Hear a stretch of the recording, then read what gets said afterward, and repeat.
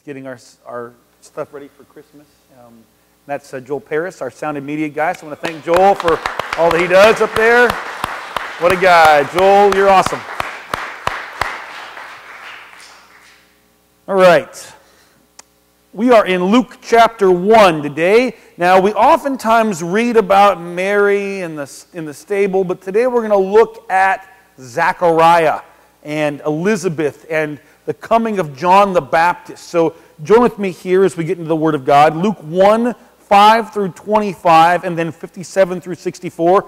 Um, this is the miracle of the birth of John the Baptist, and a powerful piece of scripture for us today, um, one that doesn't always get read uh, this time of year, and I think it should be. So let's uh, look together at God's Word. I would encourage you to be in your Pew Bible. I also have it for you up here on the board says this In the time of Herod, king of Judea, there was a priest named Zechariah who belonged to the priestly division of um, Abijah. His, his wife Elizabeth was also a descendant of Aaron. Both of them were upright in the sight of God, observing all the Lord's commandments and regulations blamelessly. But they had no children because Elizabeth was barren, and they were both well along in years.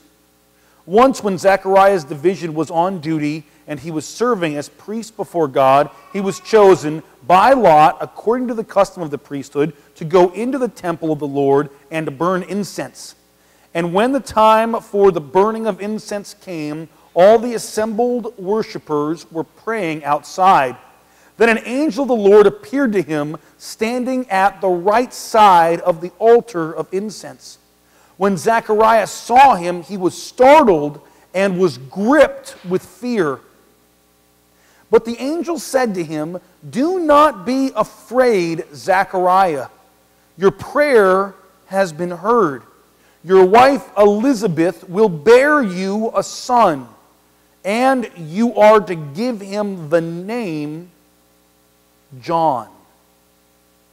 He will be a joy and delight to you and many will rejoice because of his birth, for he will be great in the sight of the Lord. He is never to take wine or other fermented drink, and he will be filled with the Holy Spirit even from birth.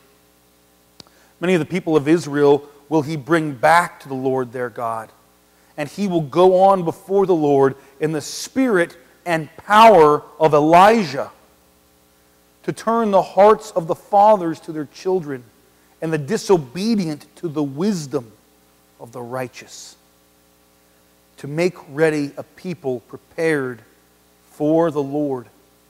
Zechariah asked the angel, How can I be sure of this? I am an old man, and my wife is well along in years. The angel answered, I am Gabriel. I stand in the presence of God, and I have been sent to speak to you to tell you this good news. And now you will be silent and not able to speak until the day this happens because you did not believe my words, which will come true at their proper time. Meanwhile, the people were waiting for Zechariah and wondering why he stayed so long in the temple. When he came out, he could not speak to them. They realized he had seen a vision in the temple, for he kept making signs to them, but remained unable to speak. When his time of service was completed, he returned home. After this, his wife Elizabeth became pregnant and for five months remained in seclusion. The Lord has done this for me, she said. In these days, he has shown his favor and taken away my disgrace among the people. Now, over to verse 57. When it was time for Elizabeth to have her baby, she gave birth to a son. Her neighbors and relatives heard that the Lord had shown her great mercy, and they shared her joy. On the eighth day, they came to circumcise the child, and they were going to name him after his father Zechariah. But his mother spoke up and said, No, he is to be called John. And they said to her, There is no one among your relatives who has that name. Then they made signs to his father to find out what he would like to name the child. He asked for a writing tablet, and to everyone's astonishment, he wrote, His name is John. Immediately his mouth was opened and his tongue was loosed, and he began to speak, praising God. The miraculous power of God. Thank you, Lord, for your word. Let's pray together. Father, as we come, help us to see what you have for us this morning. There are so many miracles around our Savior. Help us, Lord, not to miss it. And God, we do pray for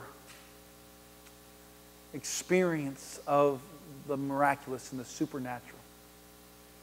Lord, help us to learn from the account of Zechariah and Elizabeth and this baby boy all that you have for us in this time of Advent as we prepare our hearts for the coming of the Savior. We ask, Holy Spirit, have your way in Jesus' name. Amen. Names in today's culture are very different from what they were in the time of Christ. Um, in that time, your name carried a lot of importance. It talked about uh, your purpose, maybe who God was in your life, what the meaning was of your, of, of, of your, of your life. Um, and really, your name was very, the meaning of your name was very, very, very important in this time. So, my name, Zachary, um, is the Hebrew for remembered by God, or the Lord remembers. So, um, my wife, uh, Beth Elizabeth, is the Lord is absolutely reliable. Those are good names, right? Kayla is pure. Uh, Ethan means strong and optimistic. That's my son. Also solid and enduring.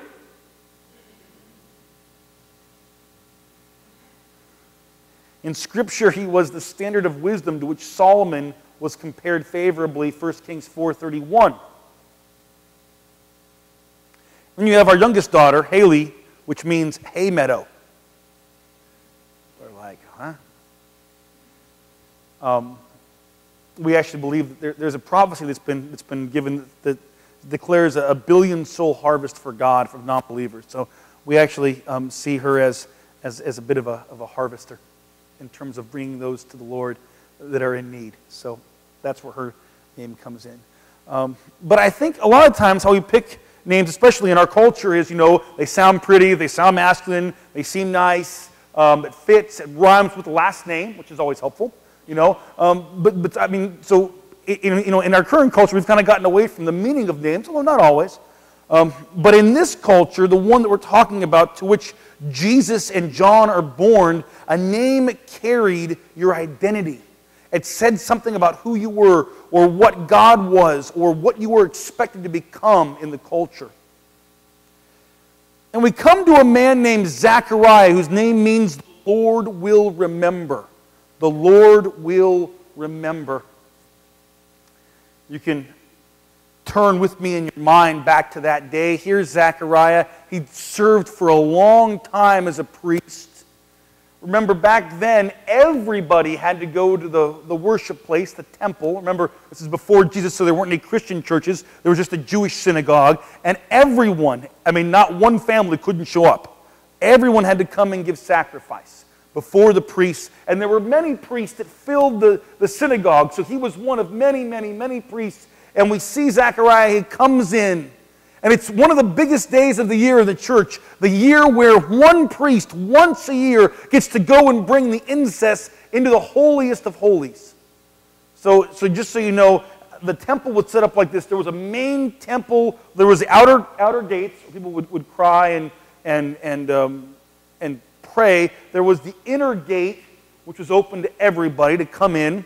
And then there was a, a room after that that was open to just those that were in really good standing in the synagogue, as well as to the priests. And then off of that room, there was a, a fourth level or fourth layer that was, um, it was the holiest of holies, and there was a curtain between that third room and the holiest of holies. Remember when Christ dies, the, the curtain tears in two?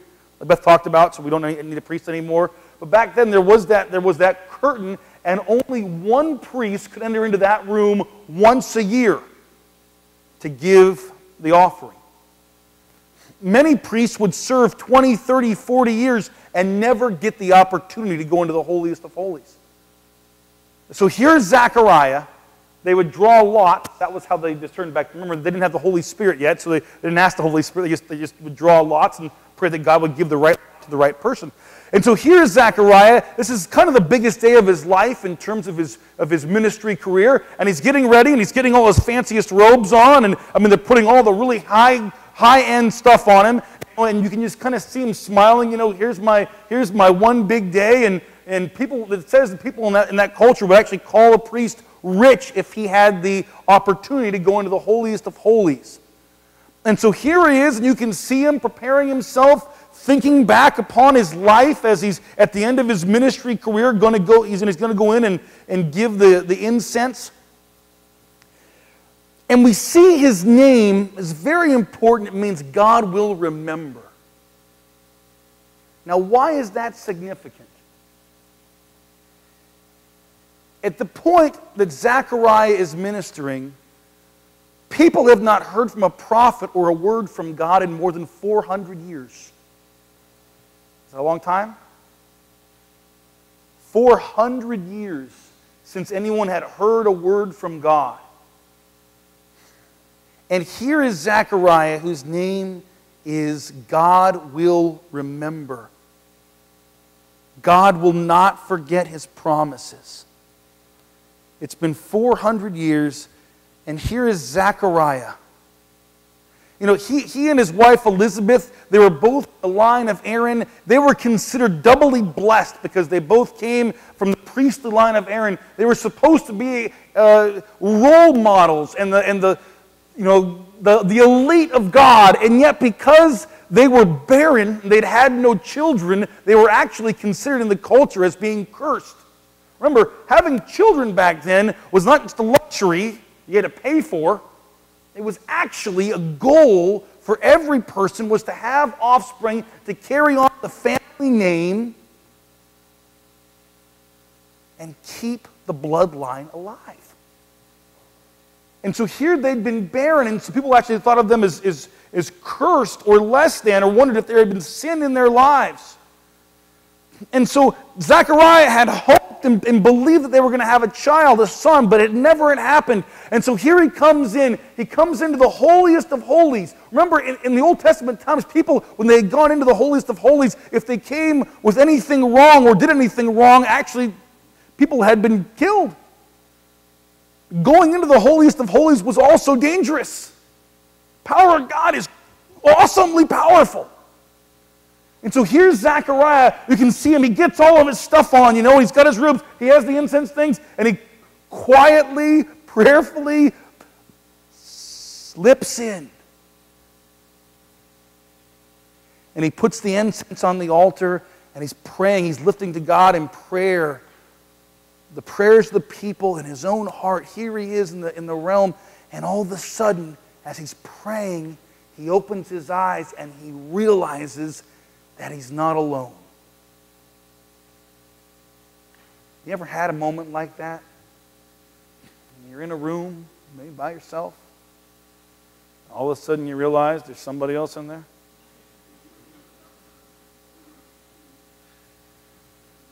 You're like, whoa. Now, if it's someone that you love, that's not a big deal. It's a nice surprise. But here is Zechariah on the biggest day of his life, doing that thing that all priests only dream of doing. And all of a sudden, there's somebody else in the room. Remember, no one's allowed to come in the room. So, as, as he tries to wrap his mind around what the heck is going on and why is there somebody else in there, he hears a voice. And we're told the angel's name is Gabriel. His name means mighty one of God. Is that not a cool name? The mighty one of God sits there and says, Hello, Zechariah. And his first words are, Do not be afraid. You got to figure he's pretty imposing figure. Never seen an angel, but I'm guessing they're pretty awesome and pretty imposing and pretty powerful. And the first thing he says is, Do not be afraid. Do you guys know that the timeline here? The last time that we had seen the angel Gabriel was more than 600 years before this date. The book of Daniel. Gabriel comes to Daniel and says, The Messiah will come. In a number of years, the Messiah is going to come. He says, um, This is the 77s are declared for your people, Daniel. First seven sevens, and then 62 more sevens until the anointed one will be cut off. Those that did the math in Israel uh, estimated that it was about 483 years, give or take. And so here is the mighty one of God, Gabriel, has gone to, to Daniel to, to, to talk about the coming of the Savior. He gives the message, and then he's gone for 600 years. More than 400 since the last prophet, Malachi, had spoken. So he's writing the timeline's good. And he says, Fear not, Zechariah he says what God has promised, God's going to do. Is there a prayer for something and, and, and you felt like you didn't get what you prayed for? Anybody ever done that? Some of you are, you've always got it when you prayed for it? I mean, I, I remember praying for things and being like, God, it's been two weeks. You know? We need this now. It's been two weeks, God. We're talking about 400 years. And you begin to see the people are beginning to not believe God anymore because it's been so darn long. Why all the silence? I mean, think about what, we, have done in our culture in 100 years. You know, man on the moon, iPods. 400 years they're waiting. And you see Zechariah's name, God will remember. God will always fulfill his promise. That is good for that time, and that's good for now. But God's promises take care of me. You bet he will. I haven't seen it yet. He's still going to do it. I mean, what God has promised in his word, we can know. I've never read, I've never seen God make me a promise. It's not in his character. It's not who he is. It's not how he's made. He can't not make, keep the promise. It's just who he is. But yet we see a whole people, a whole church of people that have begun to believe a lie, which is that God isn't what he says. That God isn't who he promises that God falls short, that God's not worth it, that God's not able. All the things we sang about today, they believed the lie that said he was none of those things. You follow me?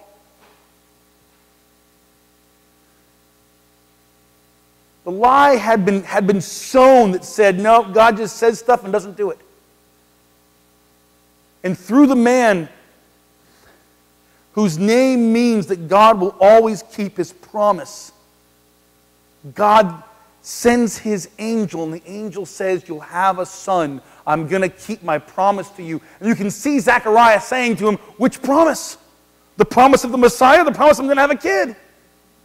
I haven't prayed about a kid in a long time. I'm an old man, he says. And Gabriel says, Both. Both are going to come. You're going to have a son who's going to prepare the way for the Lord.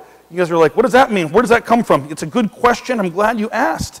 Malachi chapter 4, verses 5 through 6. Remember, Malachi is the last prophet that we hear from before the coming of, of Gabriel here. The last prophet we hear from for 400 years writes these words. He says, See, this is God through the prophet Malachi. See, I will send you the prophet Elijah before that great, great and dreadful day of the Lord. That's when Christ comes. He will turn the heart of the fathers to their children and the hearts of the children to their fathers, or else I will come and strike the land with the curse. In other words, God makes a promise I'm going to send Elijah back to you so that you can know that my son is coming. And so he says, so, so the angel says, Hey, Zechariah, your son is going to be that one that was prophesied about. He's going to set the way. Why does that matter? Because in the Old Testament, Elijah called down judgment. You remember, remember Elijah in the, in the Old Testament? Remember the, the, the prophets of Baal? They have this showdown. There's, there's awful King Ahab and Jezebel who were promoting Baal worship in the land. And he goes up, and there's a drought for three years, and he goes up on the mountain and he challenges the prophets of Baal. They've killed the prophets of God. It's one prophet in Elijah against all the prophets of Baal, and he says the one who answers by fire is the winner, and they put the sacrifice on the altar, and the fire comes down from heaven and eats up all the sacrifice, and they kill the prophets of Baal. Remember that one? And Elijah goes through Israel calling down judgment. You have failed. You've come up short. You deserve punishment. That's the Old Testament model. And God, because of his heart of redemption and love, says, I'm going to send that same prophet back but instead of calling out judgment and condemning people, he's going to bring the hearts of the fathers back to the sons and the sons back to the fathers. Children to parents and parents to children. He's going to bring reconciliation. He's going to bring healing.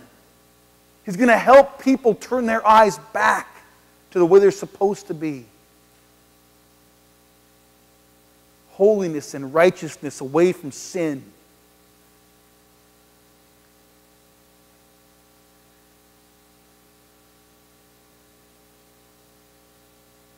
Gabriel says, Zechariah, your son will be that man. What an amazing promise. and understandably, Zechariah is like, uh, you know, I'm really old and my wife is too. And she couldn't even ever have kids when she was young. So I'm not sure about this. And, and you got to love, I mean, I don't know if you have to love, I love I mean, look at how this guy introduces himself. Hi, I'm Gabriel, verse 19. I stand in the presence of God, and I have been sent to speak to you to tell you this good news. That is the best line on a business card ever. I stand in the presence of God and have been sent to tell you this good news. That's his title in this picture. And so he can't speak until what was prophesied by the angel comes to pass. And Elizabeth, her name is the Lord is an oath, or the Lord is absolutely reliable, consecrated to God. Isn't that a great name? The Lord is absolutely reliable. So, so God always remembers his promises, and the Lord is absolutely reliable, is the couple right? That's a good, that's a good foundation. The Lord always keeps his promises, and the Lord is absolutely reliable.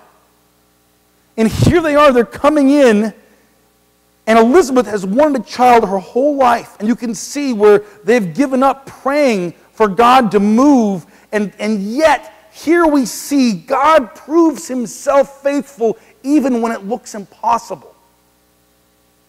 I mean, even when it looks impossible, I mean, I, I can't stress. How many of you have prayed for something and it doesn't happen? You say, you know what? It's impossible that it's ever going to happen again. You ever do that? So we stop hoping? It's impossible. Ah, I'm, I'm never going to have it. And then what do we do? We put it away. Or we get bitter. One of the two things. And God's message in the person of Christ, in the baptism of John, wherever it is, his message is always the same. It's never impossible with me. Nothing's impossible for me. It might take longer than you think, not because I'm mean, but because I've got a plan. And then, and then we have John. And John's name is God is gracious. Isn't that good? So the forebearer for the Savior is God is gracious. In grace, He comes. He comes in grace, saying that in love, I prepare for you. I let you know what's coming. The Savior is coming. And through this one of grace, I'm calling you back to be a people of myself. That's what God declares.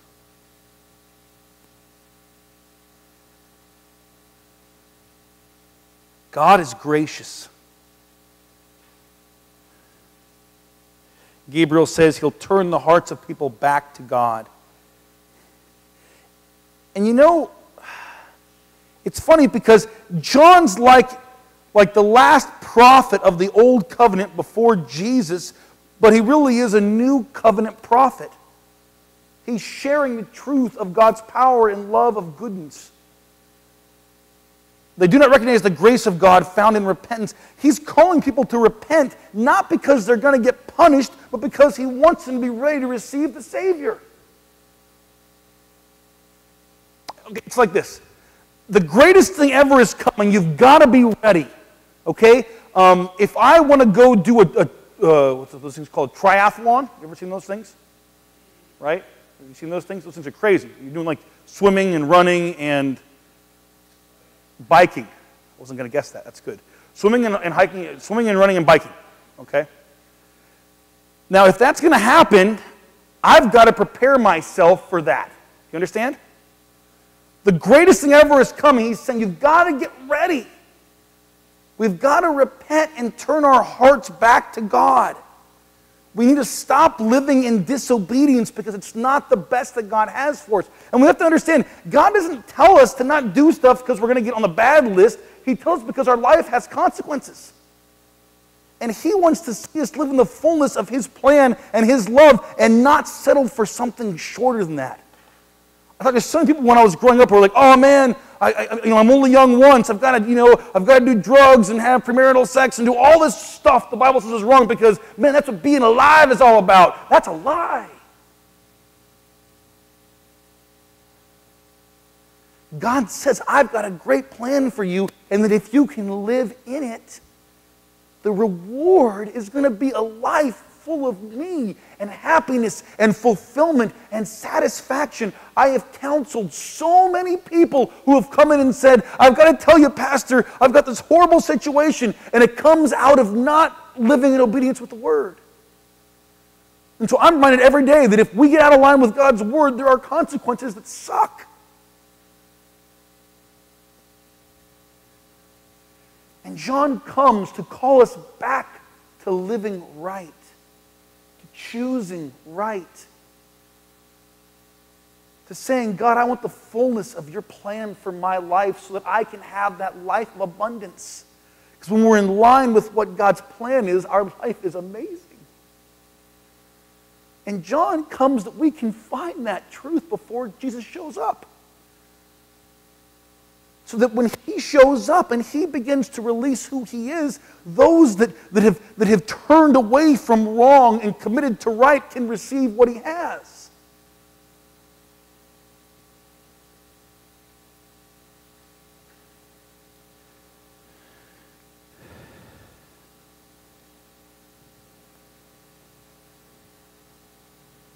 As we conclude, I, I want to remind you that we serve a God who remembers a God who is faithful, a God who is abundant. You guys, these things, it can be so easy to lose track of them, yet I believe that we're given opportunities every day to, for God to prove these things true in our lives if we allow, if we allow for it. We serve a God who loves fiercely, a God who is mighty, a God who is faithful and gracious, a God for whom nothing is too big to be forgiven. A God who I believe with all my heart wants you to find victory in any situation where it feels like you're going to be defeated. Because the more that we find his victory, the more that we see that he's real. And I think a lot of us are, are, are in places right now where we're like, oh man, there's, there's a situation or a circumstance or a thing, and, and if only this thing would shift, we would be able to see that God's real and God's powerful. And I want to pray today that we find that to be real in our lives. Let's pray together. Lord, this, this passage of Scripture reveals for us a great miracle in the person of John, how he came to be born, how he came to be that one that fulfilled the role of Elijah, that our hearts could receive the Savior when he came. Lord, may we be a people of reconciliation in place of wounding. Lord God, may we be a people who see that the right way to live is your way, is revealed by your word, that it's actually more fun and more fulfilling the lies of the enemy that say, break that, that, that guideline that you've given us. Lord, we pray that your Spirit would, would move in power in our lives. I pray that each of us would have an experience, Lord, of you that matches the supernatural power that you displayed in the birth of John, in the birth of Jesus, and his protection and his provision. Lord, give us a supernatural understanding of who you are, of how you love, of, of what you are able to do, Lord. May the miracles not just stay in Scripture, but may they be what we experience as we, by faith, step out and say, Yes, I want you offer to me.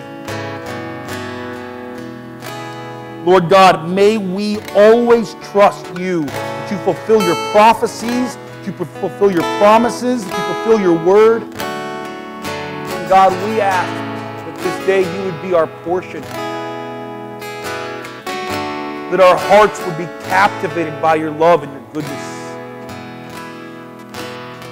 We worship you, Lord, and we praise you. May your word speak your truth to our lives. Might we exchange the lies of the world or the lies of the enemy for your truth and your goodness. And might we even see the good in the world as we celebrate this Christmas and this Advent together. We pray this, Lord, in Jesus' name. Amen. Help us spread the message. Click on the donate button below or go to shermanoakspc.org forward slash donate. Thank you.